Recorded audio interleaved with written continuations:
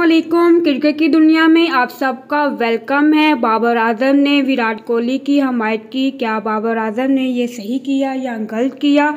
क्या शाहिद फरीदी ने बाबर आज़म को इसके लिए सही कहा? क्या शेब अख्तर ने इसके बारे में क्या जवाब दिया? जानते हैं इस वीडियो में बाबर आज़म ने विराट कोहली की हमायत करते हुए कहा कि ये वक्त गुजर जाएगा, हिम्मत नहीं हारनी।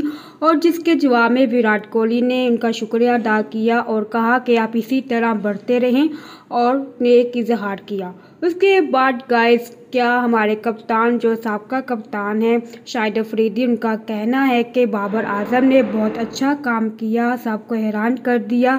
और मैं बहुत ज़्यादा हैरान हूँ कि बाबर आज़म ने विराट कोहली की हमायत की। मुझे लगता है कि बाबर आज़म को विराट कोहली का जवाब आना चाहिए, लेकिन ये मुझे मुश्किल लगता है क्योंकि वहाँ से जवाब आना मुश्किल की बात है। और लेकिन विराट कोहली ने भी उन्हें जवाब दे दिया। उसके बाद शेब अख्तर का कहना है कि अच्छे इंसान की यही खूबियाँ होती हैं कि वो सबका ख्याल रखते हैं। बाबर आज़म ने दिखा दिया कि वो बहुत अच्छा इंसान है और विराट कोहली भी बहुत ज़्यादा अच्छे इंसान है। जिस तरह उन्होंने मैच में के बाद भी रजवान को गले लगाया और मुस्कुराहट पास करते रहे और ये अच्छे इंसान की यही निशानी होती है। क्या वाकई में विराट कोहली अच्छे ही इंसान हैं? क्या बाबर आज़म को सपोर्ट करनी चाहिए थी या नहीं? आप लोग मुझे कमेंट करके बताएँ, क्या इन दोनों की दोस्ती को मशहूर होना चाहिए या नहीं?